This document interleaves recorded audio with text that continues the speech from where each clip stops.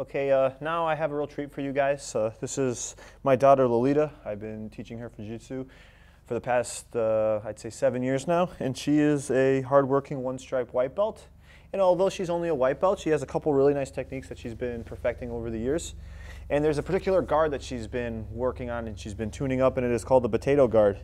And it's really good for people that have more of a lumpy build. It's not really for people that are particularly athletic.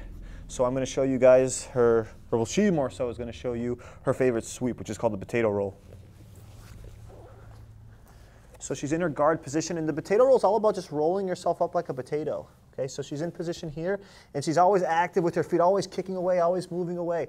And as I start to pressure into her, from here I start to pin her, she posts her feet on my hips, and she just explodes up right to the top position. So it's kind of an explosive motion. She starts flat on her back and she generates a lot of force just by pressing her feet off of me. She kind of rolls up on her shoulders and just with no one there, she rolls to the top, just like so. And it's a very effective sweep. It's, it's more of a defensive-based technique. It's gonna be when someone's really pressuring into you, you're gonna use their momentum against them. So it works actually really well against all the pressure passing that I do. I think this is part of why she's uh, has a game that revolves so much around countering pressure passing because in most of our rolls I'm trying to pressure pass her and she's a little bit on the defense sometimes and she's just rolling to the dominant position. So one more time.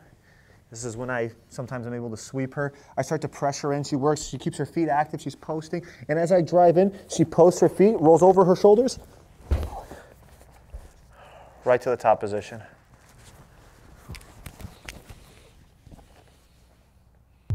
Guys, Andris Brunovskis here. You may know me from my courses on Jiu-Jitsu X. I have a whole lot of Platas and the Gravedigger Passing Series. But what you may not know is I have a third series coming out. This is called the Skills and Drills Instructional. If you enjoy drilling and you're trying to use drilling to improve your game, but you don't really know where to start or you're just kind of going through the motions, this is gonna be the perfect course for you. It's gonna make it so you can drill with intentions. You realize what you're drilling for. It's gonna give you techniques from all the essential positions and different techniques you can fire off at will. Make sure to buy this course at jiujitsux.com.